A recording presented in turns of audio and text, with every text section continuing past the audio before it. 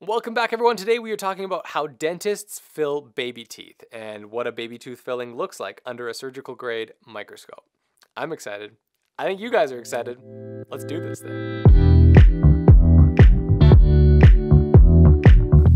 Baby teeth cavities are really sneaky.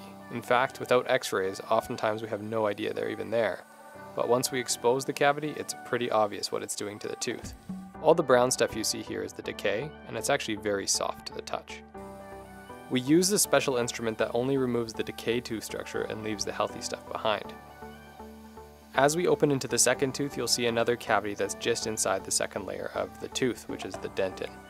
Anytime they're into this layer, they keep going and going until they reach the nerve of the tooth and eventually cause an abscess. We need to get rid of all of the decay and here's why. If we leave anything behind, oftentimes, especially if it gets exposed to oxygen in a poorly sealed filling, the bacteria will replicate and cause another cavity underneath. So that's why we spend so much time making sure all of it is out.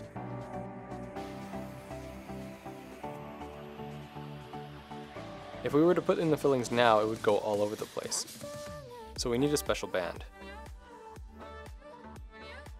These are special little retaining walls that keep the filling where we want them. And we put a special wedge in to seal it all off. This is essentially tooth shampoo. It cleans the tooth and makes the areas we want to bond to stickier. After we rinse, we're ready for bonding.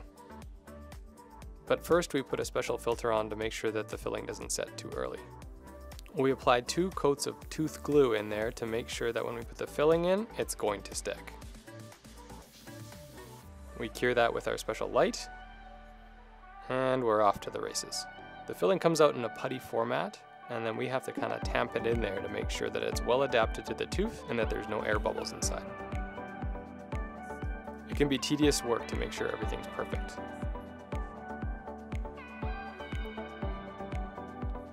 We build it up in small increments to make sure that the shrinkage of the material doesn't affect the seal of our filling.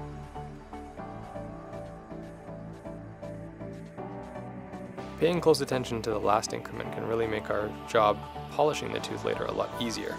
So I spend a lot of time shaping it here, making it look right.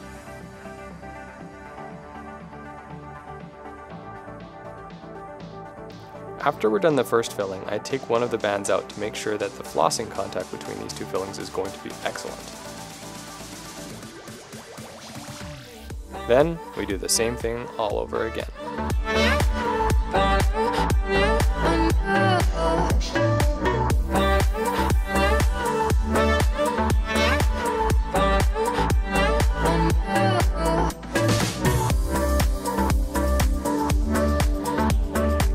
Once we're done, we take everything off and start polishing. There's some edges that need to be cleaned up and we use a scalpel blade to do that. Then we use our rotary burrs to make sure that the tooth is nice and flush against the filling. And that there's no rough spots either. Then I check for smoothness and make sure that we got a nice polish on it. Finally, we take the rubber dam off and our child gets a little break. After a filling procedure, it is normal for your child's gums to be bleeding, so don't be alarmed if you see some red. Here, the black spots represent high areas where we need to adjust so that the bite is nice and even. Once we get rid of those, we check again. And here, the black marks are only on natural tooth, which is perfect.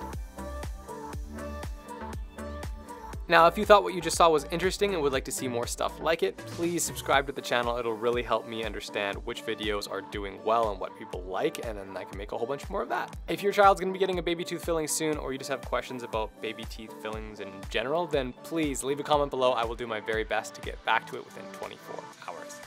Thank you so much for watching. I love you guys. I'll see you in the next video. Bye.